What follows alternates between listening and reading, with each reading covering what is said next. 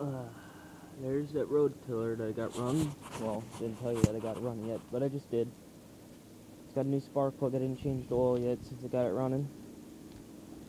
Uh, but I should change the oil because it's really grayish looking stuff. It's not that there's water in it, it's just really old. It's just been sitting in there for a while. Uh, put in new points and condensers, had the flywheel off and stuff. I showed you the points and stuff and why they even fouled out. But they were actually shorted out. There's black on them, like, and there was actually a little hole in the point, so it looks like something shorted them out. And you had sparks jumping across the points or something. I don't know. So they were shorting out, so I put in a new set of points and condensers. Uh, probably was condenser was bad, and usually that's when the points go. So I'll start it up. It runs, not the greatest, but it runs. You have to give it a few pulls and wait till it pops and chokes.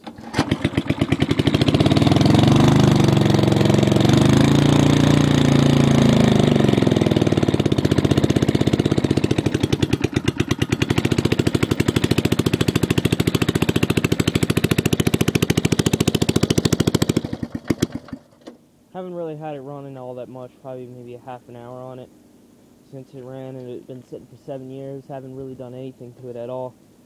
Uh, didn't even clean the carb. Didn't have to. It fired right up on its old gas. So, and it was running on seven-year-old gas. It is extremely loud, as you can hear, because the muffler's busted on the inside. So I'm gonna see if I can find another one for it.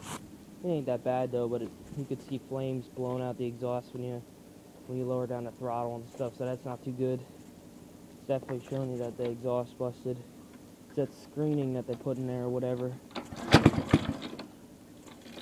Have to usually for a while you'll be starting it up with the choke on until it runs. It starts up. The engine has to be real hot.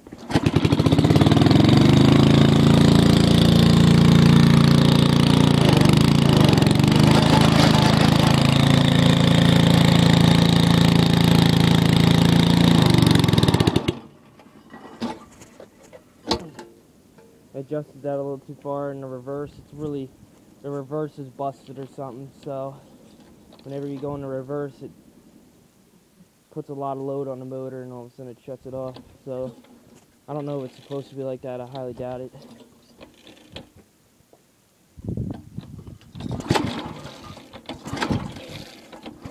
And This tool cord is hopeless.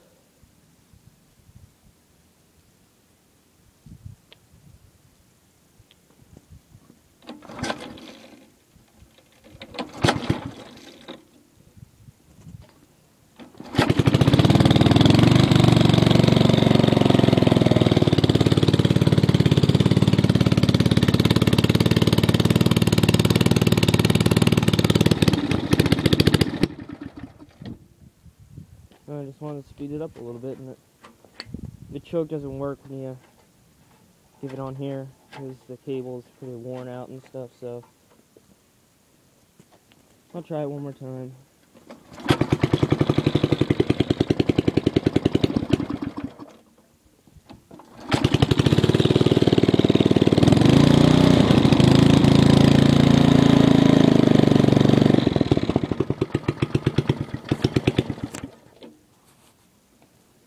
It's got a new spark plug and everything. So I made a bar for it at Tech. Looks pretty nasty, but it's a little too heavy for it, but it'll work. I'll just have to sit on the outside like that and I'll have to find a shorter bolt. Or just tighten it up, I guess. And then I have it drilled holes in it. There's uh, separate uh, mountings welded it and sanded it, grinded it down, the welds and stuff, kind of fused them together. As I put really big welds on them and stuff. It, I just quick threw it together, really crappy looking welds on there. Like, look at that. But I wouldn't see why it holds. I mean, there's so much welding on it. There's a weld on here, on this side there too. There's a weld there, so this is already on here. This is all just a old stainless steel bars and stuff, and this was a piece of bar.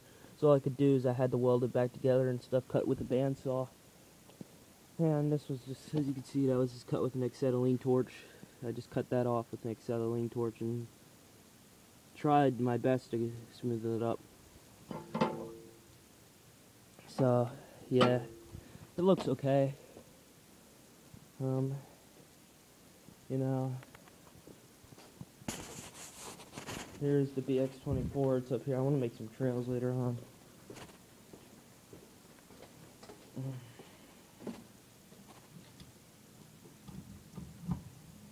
So I do need to just change the oil on it and stuff yet, and we should be should be pretty good.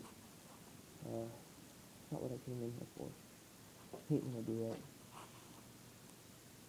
Yeah, well, thanks for watching, people.